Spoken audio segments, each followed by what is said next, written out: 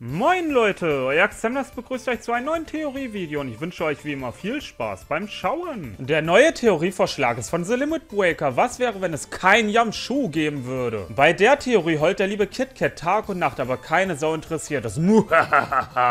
Hier ist die Antwort eigentlich klar, es würde null Unterschied machen. XD. Aber nee, ernsthaft, es würde groß bis gar keinen Unterschied machen. Es würde ja reichen, wenn sie Pool treffen würden und das wäre es eigentlich schon im Großen und Ganzen irgendwie. Es hätte nicht wirklich einen Unterschied Unterschied gemacht, da Yamshu von Anfang bis Ende nur kassiert hat. Und er einfach die komplette Lachnummer von ganz Dragon Ball ist. Bis auf gegen Rikum hatte er gewonnen, doch da ist ja wohl klar, dass die Kraftverhältnisse dort mit am schlimmsten in ganz Dragon Ball Z waren. Und da fand ich die Kraftverhältnisse sogar noch schlimmer als mit Gotenks Super Saiyajin 3. Das heißt ja wohl einiges. Aber gehen wir zum Anfang von Dragon Ball Classic zurück. Ohne Yamshu hätten sie natürlich auch nie Pool getroffen. Und er war derjenige, der sich in eine Schere verwandelt hatte, um Son Goku den Saiyajin-Schwanz abzuschneiden. Naja, obwohl Olong hätte sich genauso verwandeln können, wodurch Pulsaktion wieder hinfällig wäre. Da es Yamshu nicht gäbe, hätte man möglicherweise einen anderen an seiner Stelle eingefügt. Einen, der so etwas wie nützlich erscheinen würde, vielleicht zum Beispiel ein Carpador. Ich meine, Carpador ist das Gott-Pokémon, es macht Platsch und Arceus fällt um.